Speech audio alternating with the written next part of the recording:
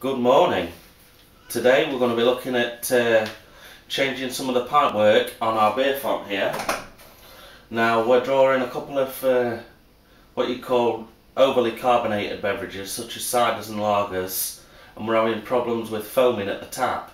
So in order to resolve that what we're going to be doing is taking some of the pipe work out.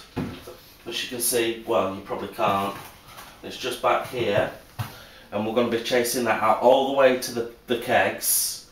And we're going to re be replacing the pipe that's in there which is uh, 3 16th ID with this quarter inch ID pipe. Um, and this should enable us to have a much uh, heavier flow without quite as much pressure being put on at the other end. So uh, we'll take you through it step by step and you'll be able to see exactly what it is we've got behind the uh, behind the bar and font and how it works and while we've got the um, the pipes out they're wrapped in what's called a beer python. Um, we're going to actually insulate it with foil as well and put some um, plastic like a vapor barrier around it before we seal up the insulation again in order to prevent uh, heat loss.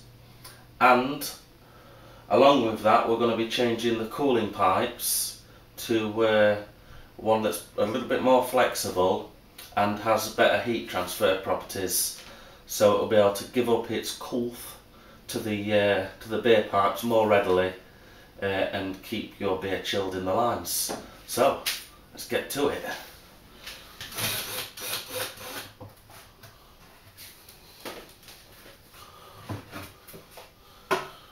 Right so that's the uh, front fascia board off the middle of the uh, the bar cupboard here and behind it you can see the pipes. Now these are the pipes we want to get to to uh, detach.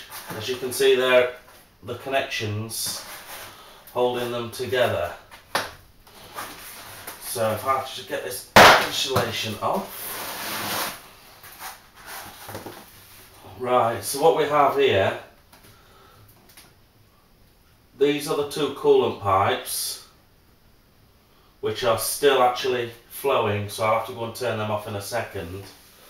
And what I've done also if I just jump up here and uh, yeah what we've done is turn the pipes off and run air through them.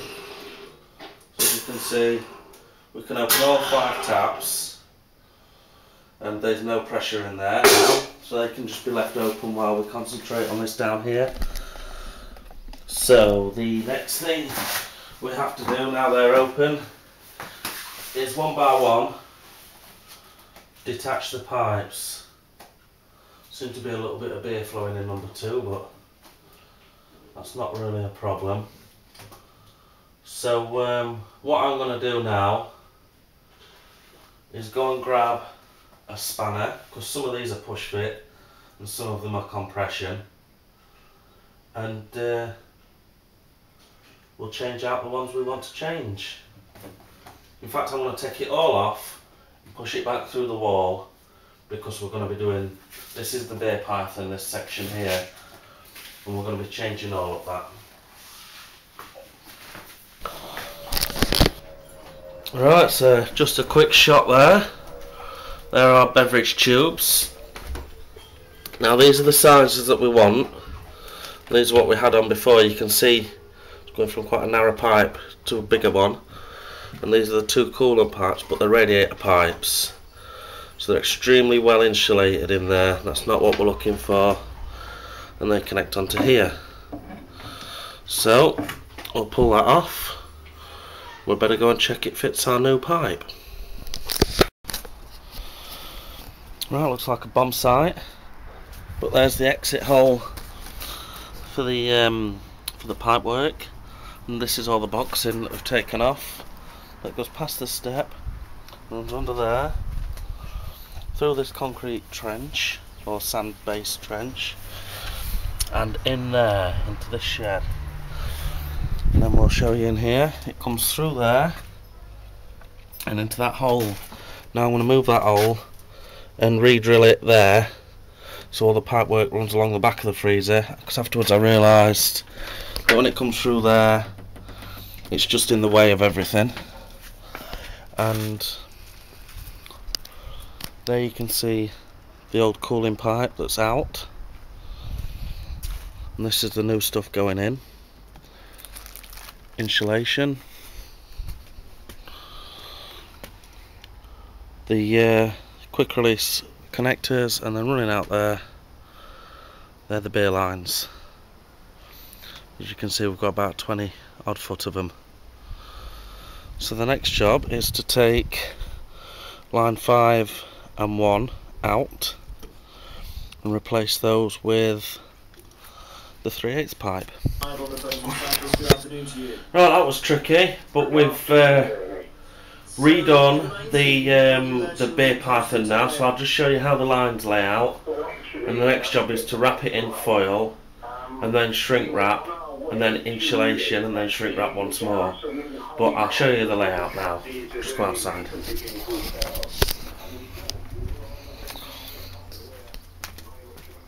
Okay. So let's have a look down this end. Here we've got the two coolant pipes. These are going to carry the coolant to the beer font and back to the freezer again. And then we've got the five um, beverage pipes around it and we've tried to uh, spread them out as best we can. It was all the way down to there. So we'll get them wrapped. Right, a bit tricky, but that's the first layer done, as you can see. Looking good. So now a layer of foil.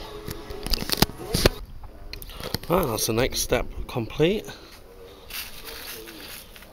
It's all wrapped nicely in foil all the way down. And that's going to maintain a thermal barrier to keep the cold in and the heat out. So next we do another layer of um, shrink wrap. Oh boy! Hello! Right, that's the uh, second layer of shrink wrap on top of the the foil it's in there somewhere you probably can't see it. So we'll run the pipe again just to see. It's beginning to take shape. Then again at the end there's the foil. So we've got shrink wrap foil shrink wrap pipes. Right now I'm going to recycle my old insulation and we're going to get that on as well Okay, hope you can see this. It's bright, I know. But we've got the um, last wrap done. Now here you'll see this is where the insulation ends. Because I have a funny feeling that those couple of meters are going to be coiled in the keg uh, cooler.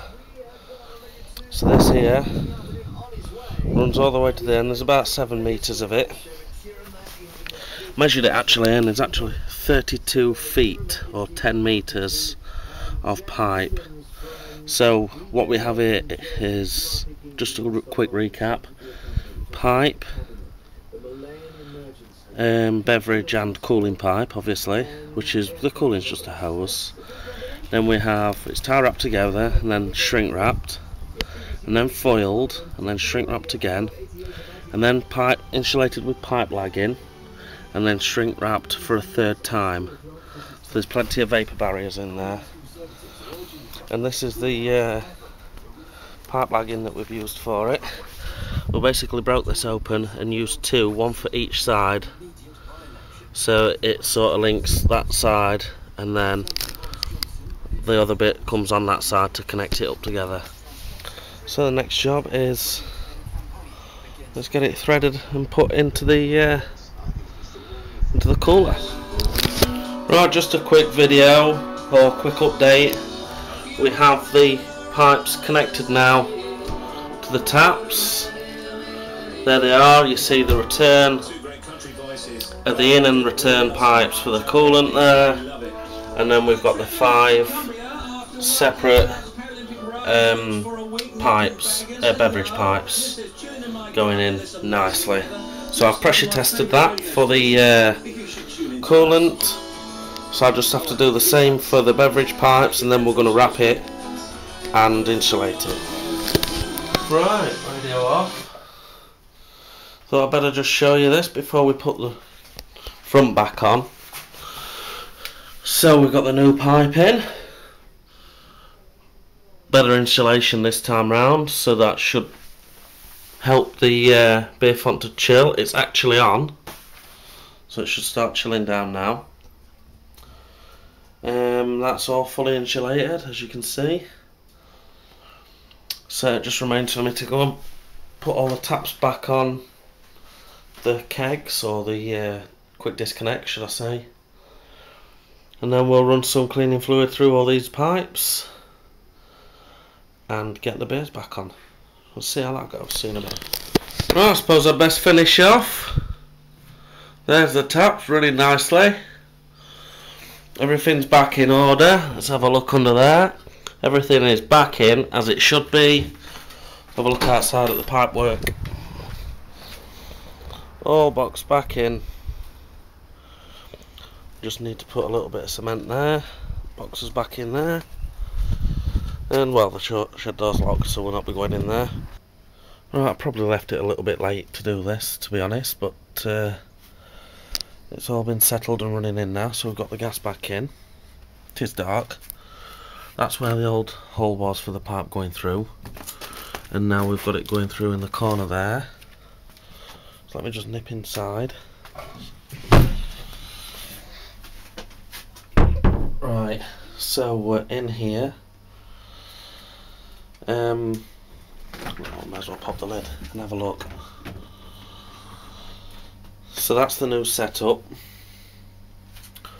We've got the gas pipes coming in there as they were before, and just underneath, it is in black, so you might struggle to see it in this light. We've got the uh, beverage pipes coming in. They are down there. Um, somewhere. There we go. See, uh, you can see that coming in. They go down here, separate there. So the cooling pipes go next into the next section of the fridge, and then this liquid pipe does a coil, and then the five pipes come up the top and across and onto their respective kegs which each has its own individual gas line running off this here so we've got room for five kegs and a demijohn and some beer there in a secondary. And then if we just look briefly in here we've got the same cooling system. And this with is with salt water. But I'm actually chilling it down now. What I've done is I've boarded it off that section now so it's separate from the refrigerator section where the uh, kegs are and I intend, I intend to chill this down to about minus 6, minus 7 while the keg section next door will remain at about 4 degrees centigrade so the coolant will always be much colder than the beer allowing the beer to stay cold within the pipes. So let's go inside and have a look at uh, the taps. Well, that's how you do it, chaps. That's how you put in a remote draw uh, beer system, give or take a few of the uh, more important factors such as installing your bar font and making a kegerator but you can find those videos on my channel um, along with home brewing videos to make your own beer as well. So it just left for me to um, test out that everything's working okay, so I suppose I best pull a bro.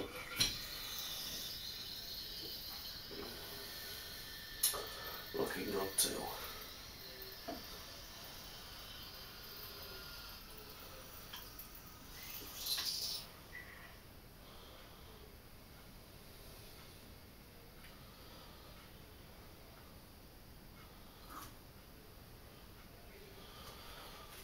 Well, cheers everybody beer.